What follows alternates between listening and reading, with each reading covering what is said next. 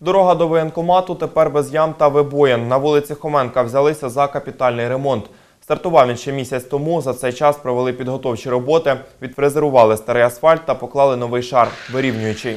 На цьому роботу призупинили через погоду. Та ненадовго, кажуть ремонтники. Ділянку дороги майже у 2 кілометри продовжать латати після нового року. Тоді подбають і про інфраструктуру вулиці. Що було до, гарно пам'ятають місцеві, тому уже оцінили роботу.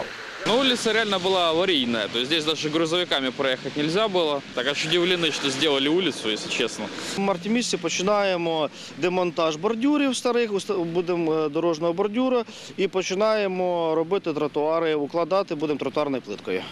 І класти е, основний шар асфальту. Люди, якщо їдуть по вулиці Смілянській, от вони не відчують е, різниці, якщо вони звернуть на вулиці Хоменка, буде так само якісно.